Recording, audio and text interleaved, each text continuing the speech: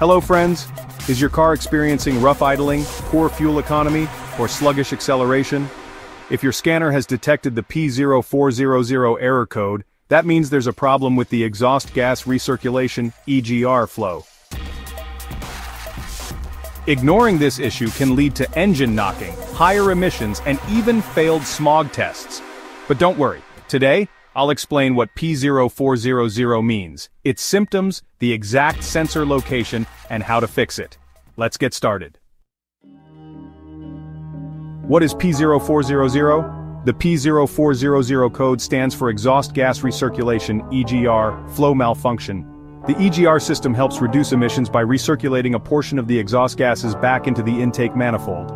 This lowers combustion temperatures and reduces harmful NOx emissions.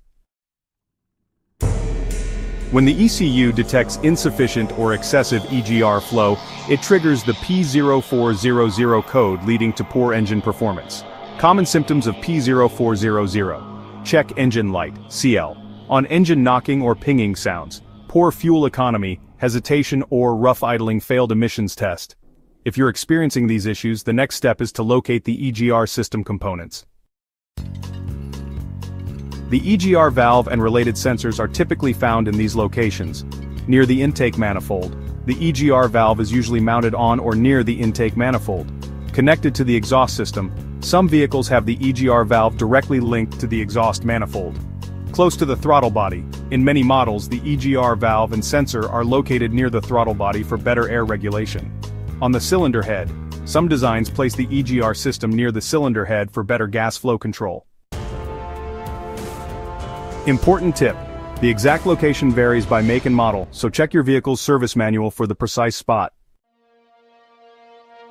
Common causes of P0400. First, a clogged EGR valve or passages carbon buildup can block the flow of exhaust gases. Second, a faulty EGR valve. If the valve gets stuck open or closed, it disrupts gas recirculation. Third, a defective EGR temperature sensor. The sensor might be sending incorrect data to the ECU. Fourth, vacuum leaks or damaged hoses. A leak in the EGR vacuum system can prevent proper operation.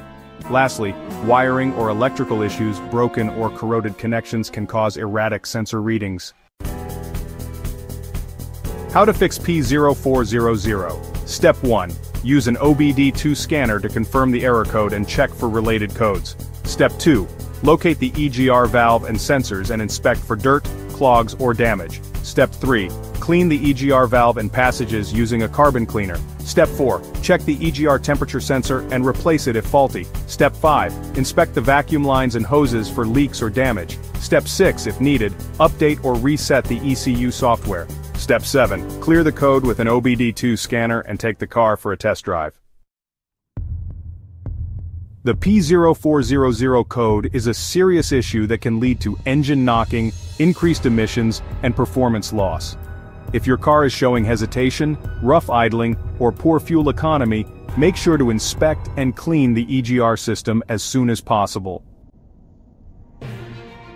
For more car troubleshooting guides, check out these videos next. P0096, Intake Air Temperature Sensor Range Performance and P0097, Intake Air Temperature Sensor Circuit Low.